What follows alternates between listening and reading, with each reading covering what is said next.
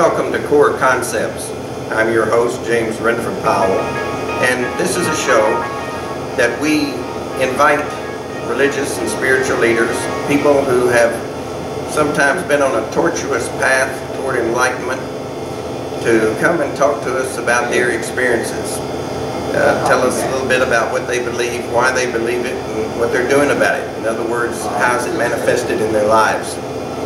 And today, my guest is Sharon Turco. And Sharon, and I'll introduce you to Sharon directly here in just a moment, but uh, Sharon and I have done some work together because she worked with us on, uh, in fact, she was the primary editor of uh, The Mysteries Revealed, which was one of, one of the first of my books to be put into print. The Mysteries Revealed was is a metaphysical interpretation of the book of Revelation. And um, so it was rather a different type of uh, book, and it was a lot of work for Sharon to uh, to do on that book. And uh, then uh, she went back to school, got her master's in business administration, went to work with FedEx, and I didn't see a whole lot of her.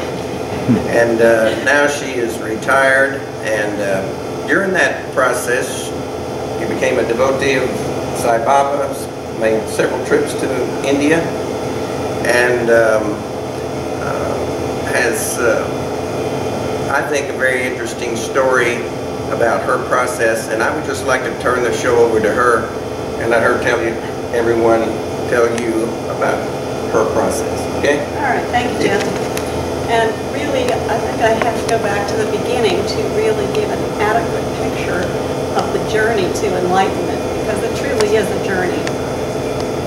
I grew up Catholic, and as a Catholic, we went to church every Sunday, every holy day. It seemed like we were always in church. But at age seven, I had my first awakening. And my first awakening was my experience with angels. I had a deep connection with angels at age seven. I continued in the Catholic Church, and at age 12, I read the Bible from cover to cover. And I really thought I was going to be a Catholic nun then at age 13, I discovered boys, and that kind of got on the back burner for a while. But then at age 18, I was back on the spiritual path, and I discovered the Edgar Cayce books. And I read every single Edgar Cayce book that was in print. And I was seeking, I was a seeker. And I as a result of that, I left the uh, Catholic Church, uh, not officially, but I was searching. So I started attending different Christian churches to experience other modes of thought. And kept searching, and then eventually I found Paramahansa Yogananda, and I studied his self-realization lessons and I did that for three years. After that, I was introduced to the Course in Miracles, and I studied that for 10 years. Uh, for 10 years, every week, I would go to the Course in Miracles lessons, and then all of a sudden, it was like, Amen, you're done. So I said, okay, well, what's next, Lord? And so the next thing that came to me was uh, an Indian man who attended First Unity Church, and he invited me to go to the Satya Sai Baba Center in Germantown. And I went, and when I walked in, even though they were speaking in San Sanskrit and chanting uh, holy songs that I didn't have any idea of what they were saying, I felt home. And so I continued going to the center and um, when I first started going to the center, I didn't have any pictures of Satya Sai Baba. So I asked uh, who was the person who was having the sessions in his home, if I could have a picture. And he said, yes, you can have a picture. He brought out uh, a group of pictures and he said, you can have any of these that you want. Well, it's very difficult to choose among a group of holy pictures. So he said, I like this one the best, so go ahead, take that one. I said, okay. So I took that one, and then I'm thinking, okay, I have this holy picture, so I need to find the perfect frame for it. So I walked into the store, and as soon as I walked in the store, there was one frame that sat above all of the other picture frames. And I noticed it immediately when I walked in, but I was thinking, oh, I've got to have the very best frame for this picture. So I walked all through the store and ended up buying the one that was up on the uh, top rack. And I brought it home. I put the picture of Sai Baba in there, and I turned it over, and it said, made in India. And I thought, well, that's interesting. But I took the picture, and I held it under the lamp, and I said, Sai Baba, you did a very good job of choosing this picture frame, but these gold stones metal don't match these silver mirrors. And I took the picture and I put it on my altar. New Year's Eve, I decided that I was going to go to a special uh, session in Little Rock where they were going to have bhajans and a, a holy person from India had come. So I took that picture with me to Little Rock and I put it on the altar. Well, my husband and my daughter was with me and they were like, oh mom, it's two o'clock in the morning, we've had enough. So I talked to the owner of the house and I said, well, would it be okay if I come tomorrow morning and I'll pick up the picture at that time? He said, yeah, that would be fine, come anytime. So I came back the next morning and the picture had manifested Vibhuti and you know, that's quite an honor. Vibhuti is a sacred ash. It's kind of like in the Catholic tradition, the sacred ash on Ash Wednesday. And so, uh, you know, I was feeling uh, deeply honored to have received that gift. And so uh, I was bringing two women who had attended the event in Little Rock back to Memphis. And uh, I was thinking, well, if they get hungry on the way, we're going to have to stop at a restaurant. And what am I going to do with the picture? I can't leave it in the car. I can't take it in the restaurant, you know. But fortunately, no one said anything about it. And about halfway home, I went, and they were like, what's the matter? And I said, Sai Baba changed all of the silver mirrors. There were 120 of them on the picture frame from silver to gold. So it just proved to me the uh, omnipresence of God because the only two people that knew about that was Satya Sai Baba and myself. And it manifested. And he was in India and I was traveling Little Rock to Memphis when that occurred. So we developed this uh, deep connection with one another, and I felt that I needed to go to India. So when I turned 50 years old, uh, that was my request to go to India. And when I went to India, I was, uh, Sai Baba was still in physical form at that time, and I was blessed to have darshan every day while I was there. And all of this time I was seeking enlightenment. That's been one of my goals since age seven when I felt this deep connection with angels. And I continued working, reading his books, and I think one of the key factors is purifying your mind so that you eliminate all the negative thought from your mind and bring yourself into a love condition, a vibration of love. And then one day, it just happened. It was like, woke up like any other day, and then I was enlightened. And for me, that experience of enlightenment was one where in Christian tradition, they talk about the veil being lifted. And that's really what the experience is when the enlightenment occurred. It's like this curtain goes up and it's like, this is what it's all about. We are all, all, all that exists are pieces of God. We're all pieces of God. Everything is a piece of God, or the creator, or higher consciousness, however you choose to look at it. But for me, it was God. And that all of our lives are the experience. It's kind of like if, if you looked at this body as God, and I'm a finger, or the fingernail. and everybody else is part of that whole body, which that whole body is God. And after the experience of feeling that oneness, you just have this immense love for everything and everybody, which you move into a deep love consciousness, recognizing that each and every person that you meet is also an individual expression of God. And I guess that's the culmination of the enlightenment experience for me when I finally recognized the oneness of all that is and sharing that love with each and every person. I think that for each individual, it is a personal experience. I think no two people come to the enlightenment experience the same. I think the destination is the same, but I think the journey is individualized on how you experience it and the path you choose to take to have that experience in your life.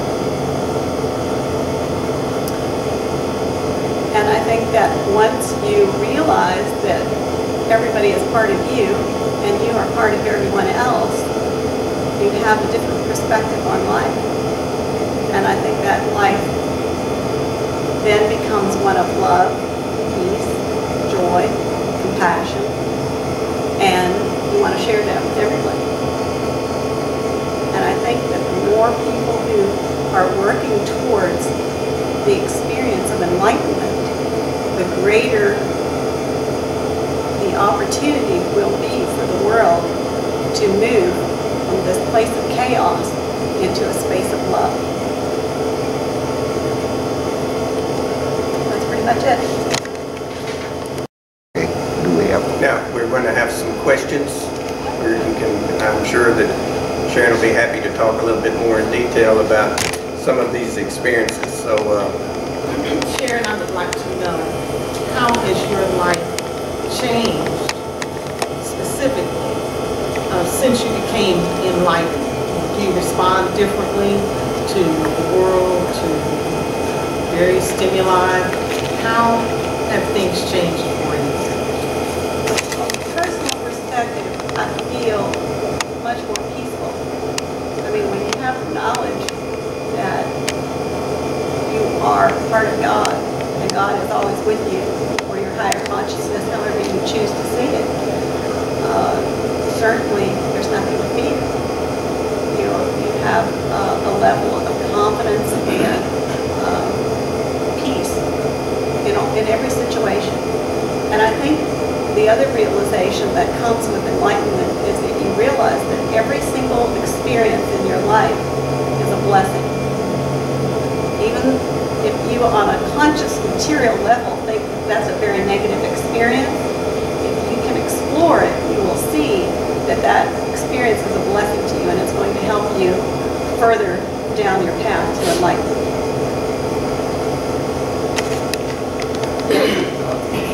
Are you familiar with Ibn Arabi? Excuse me? Ibn Arabi is a Sufi mystic. Uh. No, lived no. around the, uh, God bless you. In Andalusia in uh, Spain around, uh, I'm not sure about the time period, but anyway, I was reading one of his books recently. It's, called What the Seeker Needs. And he, he talked about something similar, about uh, how we are, you know, on a, on a human level, then we look at things one way, but when we come to know that we are all pieces of that one, that uh, it puts everything in a totally different perspective. Uh, I think, you know, this is kind of strange to bring it up today, especially because I was reading about that this morning. And uh, it's, it's interesting. Ru- have you read about, you know Rumi?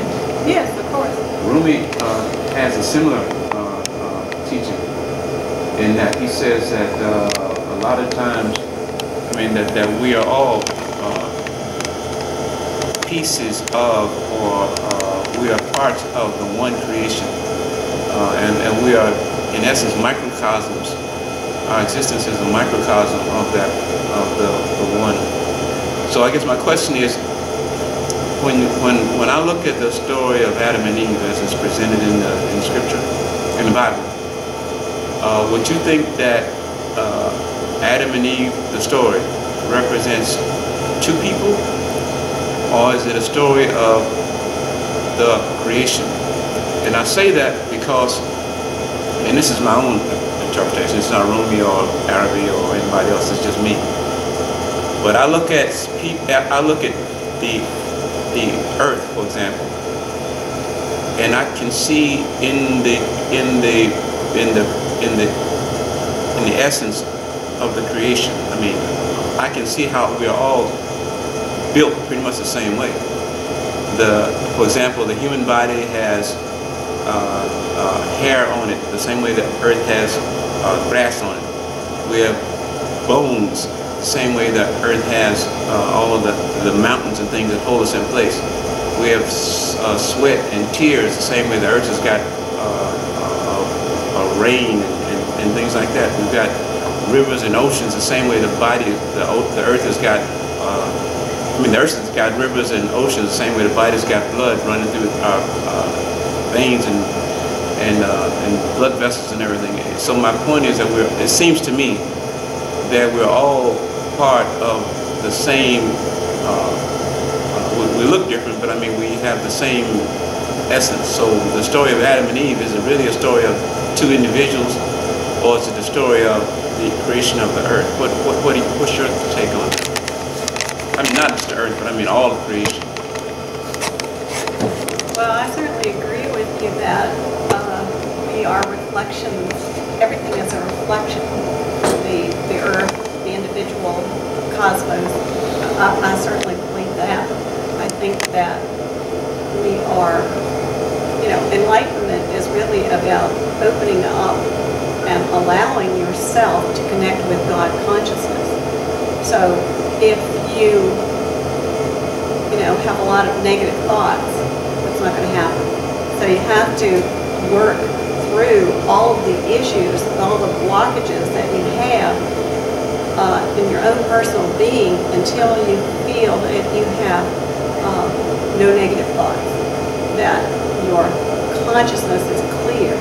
Because once you have achieved that clarity, that's when you, as, as Jim so eloquently says, that's when you come to know. That's when you come to know who you really are, and that is that we are all one. We are all part of the omnipresent, omniscient, omnipotent, omnipotent God or higher consciousness, however you view that. And I think that everything that happens is, is a reflection. You know? It's a uh, experience of the oneness in that experience. Can you talk a little bit about presence? Because I mean, a, lot of time, on one level, we talk about, you know, I'm a believer, and I, I believe, you know, from phys- I mean, from the just a, a regular Christian or Jewish or Muslims, you know, belief standpoint, would say that I'm a believer in such such a faith and, and I follow this doctrine or that doctrine, but that doesn't necessarily mean you are in, you're trying to live in God's presence. You say it with your lips, but that doesn't necessarily mean that you actually live, you're actually there yet. At first I didn't understand that, but as I grow, I, I like to think that as I grow spiritually, I've come to understand what living in God's presence means. Can you talk a little bit about your understanding about that? Well, I think for me personally that as you, you know, there is a journey towards enlightenment. All these things that you have to do before you have received the grace of God to get uh, an experience of enlightenment. But that experience of enlightenment is also a growing experience. You know, it's not just like, okay, we turn on the switch and we understand it it's also a growing experience. So you continue to evolve and grow and recognize and experience all of the uh, blessings that we have in our lifetime. And I think that from a religious uh, point of view, if we look at all of the different religions like Buddhism, Hinduism, Jainism, Sikhism, Christianity, uh, all of it, they're all paths to God Right. There, there's not, but there's only one destination. So, uh, in my personal belief, all of the different religions reflect um, the culture, the society of a particular group of people so that God can speak to them. In other words, being America, we have a certain view, and therefore a lot of us are Christians because that's what we followed. People in India are uh, primarily Hindus and Muslims, and so that way of thinking about religion reflects their culture, their society. But the ultimate goal is the same for everybody. The recognition that we're all one. The interesting thing is, and she's kind of touched on it, I think, is that the destination is really not a destination. It's always the journey. It's always the journey. Everything is the journey. And, uh, and it doesn't matter which religion you come, you know, we come from uh, essentially Judeo-Christian uh, in the United States, talking. Well, the Bible said a long time ago, I mean, anybody who read it, but we don't connect. There's a disconnect on a lot of this stuff when it comes to religion and spirituality. We don't connect it. It says God dwells in man. If God dwells in man, how can we be separated from God? Anybody talking about separation from God doesn't know. You couldn't be separated from God if you wanted to be. But you can be separated in your mind, in your perception that you're separated, that you're evil, that you're bad, that you don't deserve one thing or another like that. That can be possible, but you can't really be separated from God. And, and secondly, the Bible also says that we live, move, and have our being in God, doesn't it? Everybody knows that passage. If that's the case, where's the devil? If God is omnipresent, where's the devil? It's in our minds, all right? It's in our minds, it's in our perceptions, and it's experienced through fear. Fear is which causes the chaos and the problems. Uh, maybe you want to address that a little bit. I mean, in your experience, did you have to deal with a lot of fear in your process? Yes, you, I think you have to go through experiences. It's like if you have this experience, then you, it, it works on developing your level of faith, that you know that whatever this experience is, that God is with God is helping you to work through this experience, God, God is teaching you, and you are learning something that is going to help you later on in your life. And for me, I was blessed to have all those teachings culminate in enlightenment, where you can really understand and know that you are part of God and everybody else is part of God. It's, it's very uh, interesting if we, if you go look at it from a Christian perspective, uh, because of where we are. Uh, the prophets said that there would be one who would come that would reveal the secrets that have been held there, laid hidden from the foundations of the earth. And in Matthew, it says that Jesus has come to reveal secrets that have been held and lain hidden from the foundations of the earth. It also said that he would speak in parables, that's tell little stories, right? And it says that he spake to them in parables, and that without parables spake he not. In other words, he didn't use any other system. And when you look at the teachers, the great teachers, the Buddhas and so forth, they just told stories. Because it has to be on a level that because our ears are dull of hearing and our eyes are closed, as he said, it has to be on a level that we can that we can follow and we can understand. And in those parables, you have some really great lessons we don't uh, we don't we don't think about. And one of them is the parable of the talents, where one is given one parable, one's given one talent, one's given two, one's given five, and two of them do very well, and then uh, the master comes back and he rewards them. And the one who didn't do well, the secret of why is revealed. He asked him, why did you not put it in where you can at least draw interest on it? And he said, I was afraid. So your devil is, is, is revealed right here. Fear. And this is why Jesus constantly in the Bible said, Fear not, fear not, fear not, over and over again, fear not. And you have the illustrations of Peter walking on the water. Then he sees the storm. He starts to sink. Why? Because he becomes afraid. Right? So you have this. In that same parable, you have uh, the reward. What was the reward for the two who were successful? And this is why I said the journey is always it. It said they didn't, they didn't, unfortunately, they didn't get 72 virgins, and they didn't get milk and honey in paradise, and they didn't get any of those things. You know what the reward was? More responsibility. That means even when that journey is finished, the journey is not finished. The journey is ongoing. Anyway, I've talked more than usual for this type of show. Uh, Any, um, I want you to ask Well, questions of our guests. I just wondered, um, your path and, and how you deal with day-to-day events.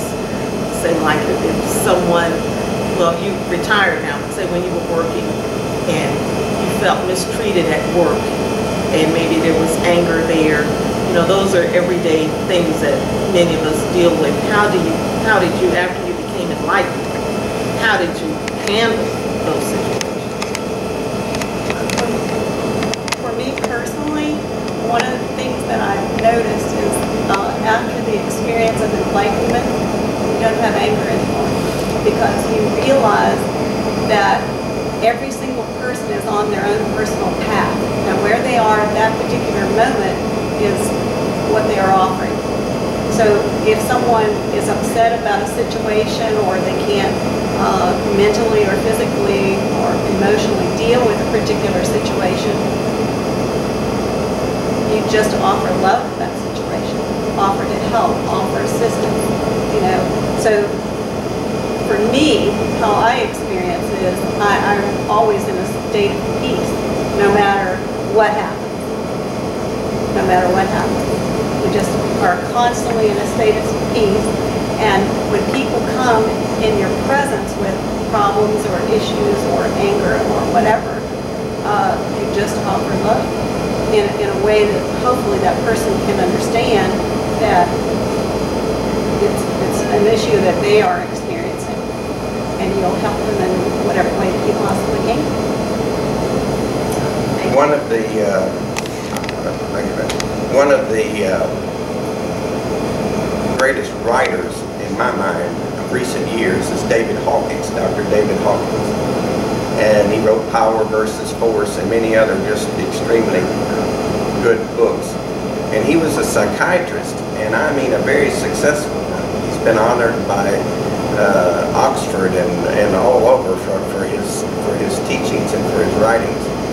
And he describes, in the midst of this success in New York City, when he experiences enlightenment, that he was almost like helpless because he's full of love and trust. Uh, he's actually vulnerable for to, to, to people, and he basically withdrew from society uh, for about eight years. Uh, he died uh, last year, I think, in Sedona uh, or in, in Arizona. But uh, I thought that that was a, a very interesting thing for me because I know that even though you become aware and and, uh, and, and have love for folks and, and are trusting, you begin to build the shell back up. if you're still doing business or you're still dealing with people, you begin to, you, you, if you don't have that uh, little bit of a protection there, then, then you're just totally vulnerable. And uh, I thought that was a very interesting uh, comment that he, that, uh, and, and that whole story uh, about that. Have you felt that vulnerability yourself or you're in a more protected situation uh, at home anyway? For me personally, um, I, can- I can say that I, I don't live here because I feel that whatever happens is blessing. I may not recognize it at that exact moment that it's happening, but I'll look at it and I'll say, okay, what blessing is God sending to me now? And then I'll look at the situation and I can always see, it may not be that first day that the experience happened, but eventually, in a week or two, I will see why that experience came to me, which you may look at it from an outside perspective as a negative experience. But it's not, in my opinion, there aren't any negative experiences. They're all lessons for you. Some are just more unpleasant than others. Yeah, That's true. Some are, some are more It's unpleasant. like good karma and bad karma. There's really only karma. Yeah. But, but if it's an experience that you're being forced to learn, uh, you can consider that a, a bad karma. You guess. could consider it, yes, exactly. You had another question? Well, no, I, I had, it was more of a comment. Uh, When, when things like that happen to me, and I don't claim to be enlightened, don't misunderstand me, but when things like that happen, I, I have the kind of personality, I'm, I'm very rarely upset with too much of anything. I'm really kind of calm and, but I think that's, uh, partly because of the many years that I've spent trying to, uh, get to know myself. But when things like that come to me, uh, a friend of mine came to me just recently and she was telling me how things were not going right and she was upset and she was crying and fussing and this, that, and the other. And I tried to uh, explain to her that this was, might, like you just said, might be a lesson uh, from God that, that's, that, that is put out there for her to try to get something. It might not necessarily be a punishment or even something bad in her life, but instead it might be something that she can get something from. Take a look at your life and see what uh, see what you might have done that you need to correct. Something that kind of you know. But anyway, that you have to know who you're talking to when you say things like that, because some people, depending on their on their uh, level of awareness, if you will, uh, might not be able to relate to things like that. I mean, they're still stuck on this on this physical, and when you say that you need to look inside of yourself, and they get really upset. No, you don't know what you're talking about. I got real issues, and I need I don't need to be doing that kind of stuff. And that's when I back up because they are not there yet, and you have to be able. And I think it's just me.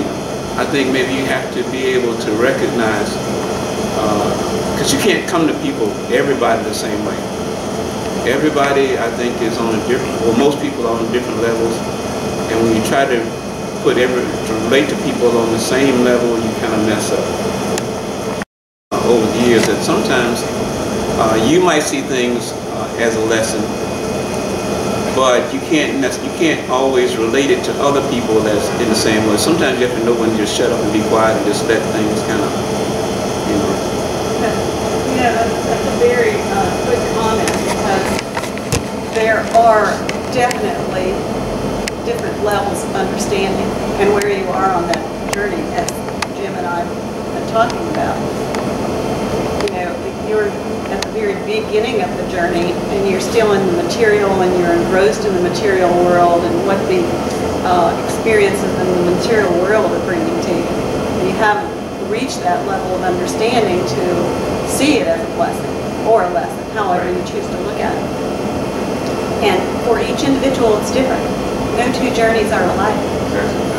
And it all has to do with your own personal experiences, your own personal uh, ways of looking at the world. And that's the beauty of it, I think. That uh, I know I read a book a long time ago. It was written by Jack Kornfield. And he's, uh, the title of the book is After the Ecstasy is the Laundry. And it's a story of enlightenment. He, he was actually an American who, who went to India and lived in a uh, ashram for 20 years. After the ecstasy, living in God consciousness, and then coming back into the United States, and he got married and had children and had to do the laundry, the dishes, and go to work and earn money and pay bills and all, all these things that we do on a material level. And I think that that is part of life. Part of life is these experiences that we have every day. The, the different the, the difference is how you look at that experience or how you react to that experience. you personally. It's an, it's an individual expression of your level of consciousness. Where are you on your journey? David, uh, speaking, of- I talked about David Hawkins a while ago, he said that about 50% of those who do receive enlightenment go on, they leave, leave the body. Because it is a task, a real task to remain. And uh, there have been Buddhist teachers and so forth who, who have, uh, have elected, uh, we, that we've heard about, you know, that talk, that we, that we have knowledge of, who, who stayed because of their desire to help sentient beings. And um, that's, that's uh, I thought was very interesting that roughly about half literally move on at that, at that point. Because it does seem, uh, and if you talk to people who've experienced the near-death experience, where they've gone out of body, most of the time did not want to come back. You know, you know, they, they, they, they, they what they describe is that, that bliss and that happiness and not wanting to come back to this pain. you know, maybe from a car wreck or whatever it was. Didn't want to come back. Didn't want to deal. Didn't want to come back and have to deal with, uh, you know, those day-to-day issues that you're talking about, you know. But I believe that these day-to-day issues are still a part of that growing, evolving process. And that if we do remain, it's because we feel like there's more that we have to learn and more that we have to teach. And, and enlightenment, like says, it's not the end of the road. It's just part of the journey. Are there any other questions? I want to thank Sharon for being with us today on Core Concepts and all of you for participating and asking your questions. I want to thank our host again, uh, uh, Ahmed Sharif, who is the owner of the Grindz Coffee Shop, where we have been for this uh, two months, or going on two months by the end of this month. And um, our sponsor is Institute of Applied Metaphysics. You can go to iam-cor.org and visit the virtual campus of the Institute. All of the courses that are offered, the bookstore, there are free books there. The Searcher's Roadmap, the Unity Principles, and the core document are all there available, the Lightways Ezine. And want to invite you to go to other parts of, of um, the Renford Broadcast Network if you're watching us on YouTube. There's six sections here and uh, that include the Bookman Show, this show, uh, the Laws of Material Wealth Personal Development Program, Music with Meaning, the audio books, and the Renford Theater. And hopefully you can be with us again next week on Core Concepts. Thank you.